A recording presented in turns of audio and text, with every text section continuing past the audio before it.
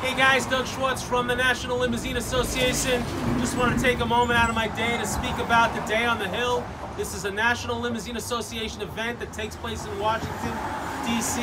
You can click on the link uh, attached to this video. This is, in my opinion, the best event that the association does. It's really educational, and you can be a part in crafting the future of our limousine industry. So take a look at the link. If you have any questions, you can shoot me an email. I'd love to answer them. I've been attending this event for many, many years. We have quite a few states that are not represented. We're running out of time and we're running out of space. So if you can hop on board and join us, I guarantee you'll really enjoy this one. Have a great day, everyone. We'll talk soon.